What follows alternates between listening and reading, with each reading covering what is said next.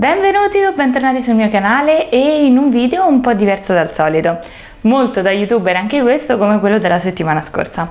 Oggi facciamo una TBR to be read, ossia quali libri devo leggere? L'idea di fare questo video un po' più chiacchiereccio di libri che non ho ancora letto e vedere se a fine anno li ho letti tutti. Di solito leggo tutto ciò che ho sul comodino, poi compro, non sono troppo compulsiva, ma ultimamente tra il fatto di andare al mercatino dell'usato e prendere un sacco di libri, al compleanno ne ho ricevuti tantissimi, eh, poi sono andata alla fiera del libro, poi è passato Natale, quindi ci sono un sacco di libri, voi vedete solo questi, ma c'è una varie pile qui davanti perché li ho divisi in base ai video che ho fatto così non mi ripeto troppo. Allora, allora, allora, ho fatto la prima pila con gli ultimi che rimangono del book haul eh,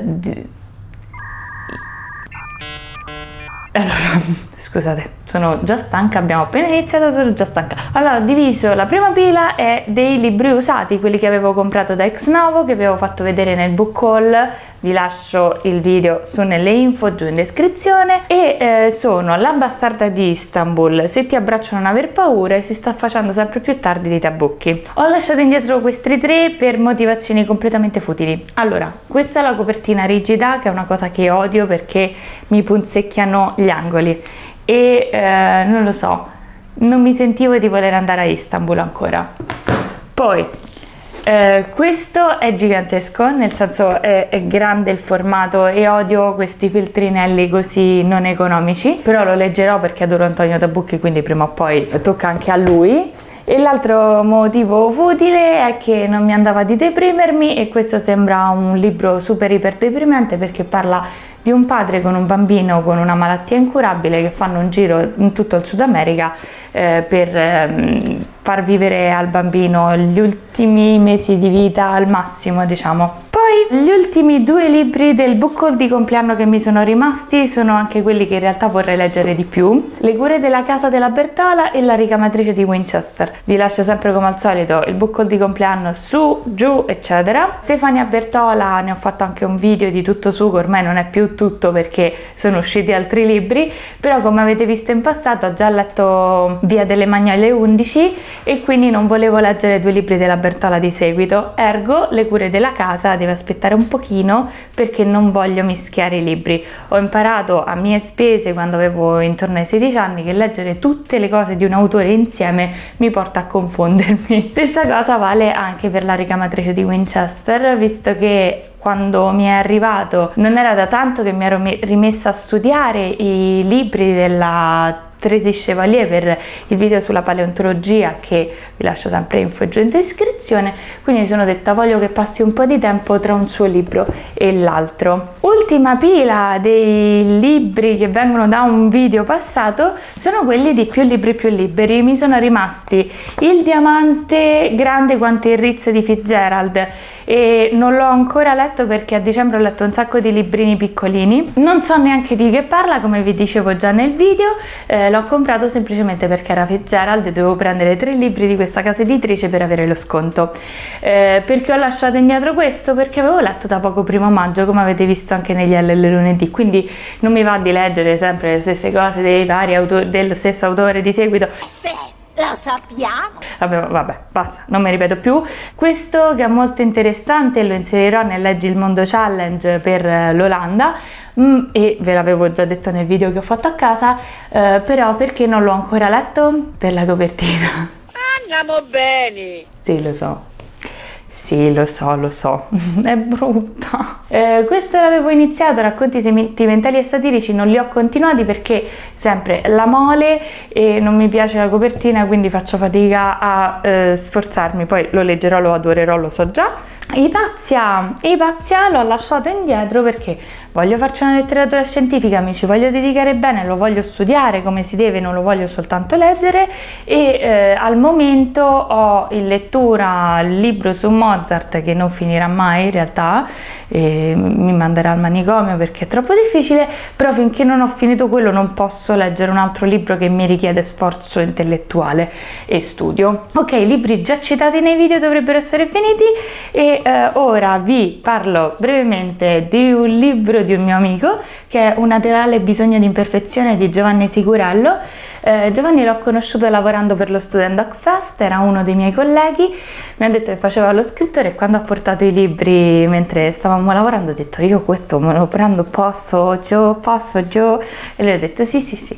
E quindi questo lo vedrete negli LL lunedì, come anche, scusa Luca, Gladio, di Luca Minardi, che leggerò, lo giuro, il problema è che è in digitale, questo è il mio problema, se una cosa è in digitale io me la scordo, il libro lo vedo, dico, uh, ti devo leggere leggere e lo leggo.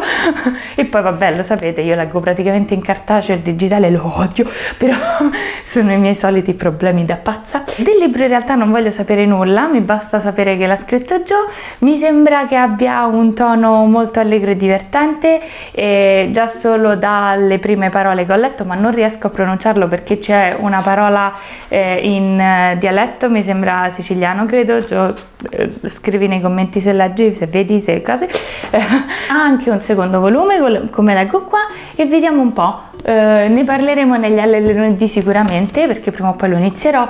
Eh, devo solo capire qual è l'ordine, soprattutto devo finire i libri che sto leggendo perché sono arrivata a quota 5, faccio un po' schifo però sono io che sono in un periodo di delirio mentale. Veniamo alla pila di Natale, non ho ricevuto tanti libri a Natale e più che altro adesso abbiamo iniziato con due mie zie, sia da una parte paterna sia da parte materna, una cosa che adoro, ossia loro leggono i libri e poi li mandano a me e me li regalano. Perché? Perché non hanno spazio. Questa cosa è fantastica. Ormai lo spazio non lo ho neanche più io però sto comprando casa, quindi la devo tappezzare di libri, avrò un sacco di spazio da riempire.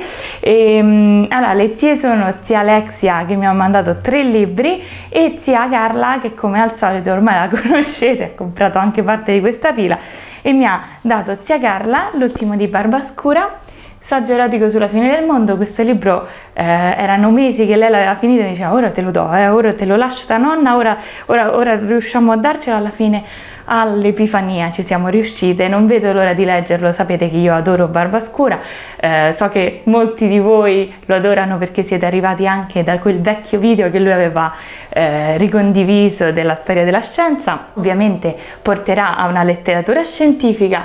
Lo sappiamo! Diciamo che quello è l'unico format che è coperto sempre, anche se prima di iniziare a fare video sulla letteratura scientifica io non lo sapevo che leggevo letteratura scientifica, sono strana io. Comunque, i libri di zia Alexia eh, questo mi è arrivato proprio, me l'ha comprato da Amazon e me l'ha inviato, Le ceneri di Angela.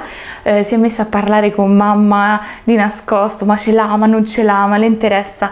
Questo è quello che inserirò nella parte dell'Irlanda, eh, come vi dicevo nel passato video. So che parla di eh, un'infanzia difficile in Irlanda, sembra bello intenso, vi leggo il retro. Ripensando alla mia infanzia mi chiedo come sono riuscito a sopravvivere. Naturalmente è stata un'infanzia infelice, se non non ci sarebbe gusto, ma un'infanzia infelice irlandese è peggio di un'infanzia infelice qualunque e un'infanzia infelice irlandese cattolica è peggio ancora.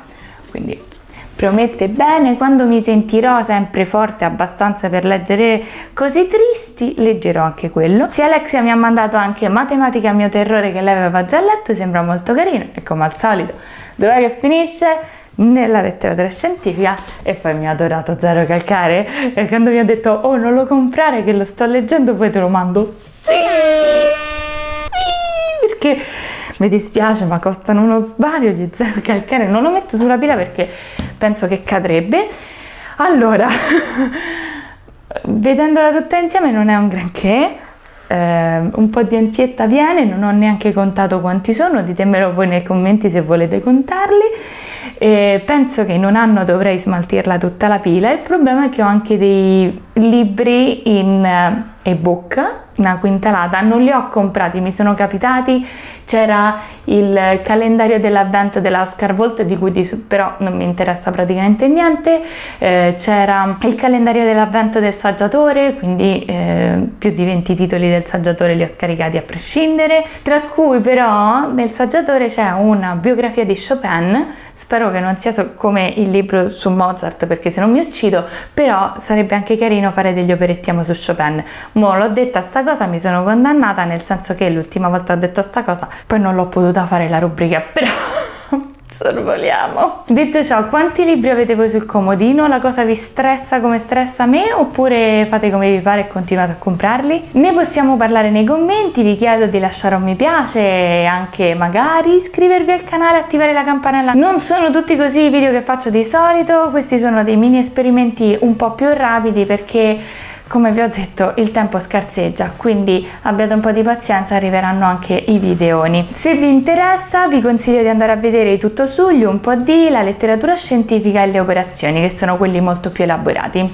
Ora non mi rimane che augurarvi buona lettura